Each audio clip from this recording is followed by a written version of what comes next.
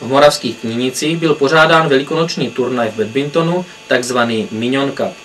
Turnaj založil a stále pořádá místní řemeslník, jehož výrobní značka je LP, ale má osobní přezdívku Minion. Oplatky minionky, které najdete na pultech většiny obchodů, výrobce pojmenoval právě kvůli tomuto turnaji. Od té doby je krabice s minionkami k dispozici všem účastníkům turnaju Minion Cupu. Dokonce se mu podařilo po pěti letech v tomto klání zvítězit, nikoli však z protekce, ale v korektním boji. Levá noha trochu, jako, aby jsme to měli na co svést. A vyhrál to taťka jako, jo.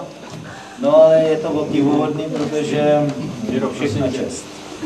Musím, musím ti pogratulovat. Co ještě mám říct? Aha, takhle.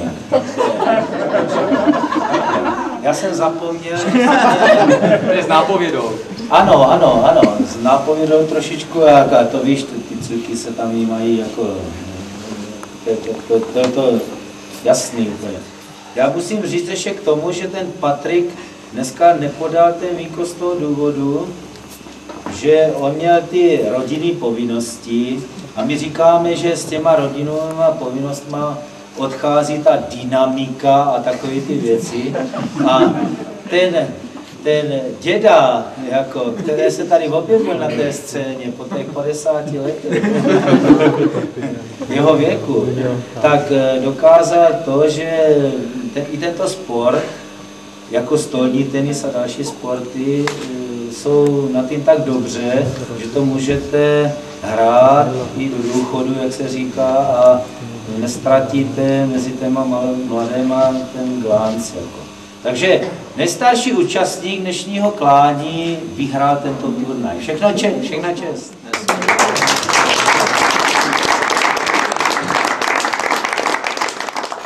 Tuto zprávu jsme záměrně zařadili do kulturního zpravodajství, neboť se nejedná o čistě sportovní událost. Druhá část tohoto přátelského setkání hráčů sousedních obcí moravských Knínic, Čebína a Kuřimy patří do regionální kultury. Tato kulturní část byla tradičně veselá. Za zvuku kytary a basy, zpěvu účastníků, pořadatelů i návštěvníků tohoto turnaje se ještě ze setrvačnosti soutěžilo. Podávaly se sklenky dobrých moků a výtečný guláš.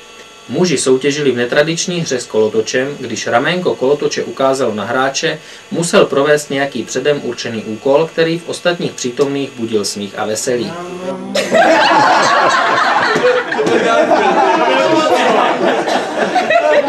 V kategorii žen nejlepšího výkonu dosáhla Ivana Hledíková v pinkání badmintonového košíku pod nízkým stropem. Odehrála takto neuvěřitelných 25 úderů.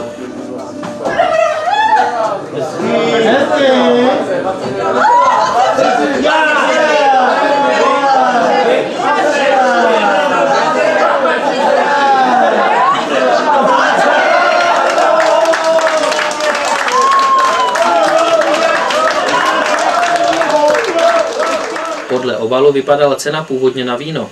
Když vítězka obal odstranila, ukázalo se, že získala za svůj výkon oblíbenou plišovou hračku, s kterou se můžeme setkat v každé domácnosti. Na viděnou.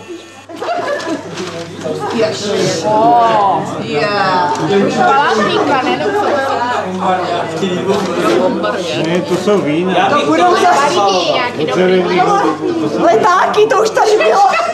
Já bych ale rozpálil Tak je to houpačka, před tím kolotočí to bude houpačka. Já to jsem takový hovadinci. Prožený prázdno. Ty to máš ty to máš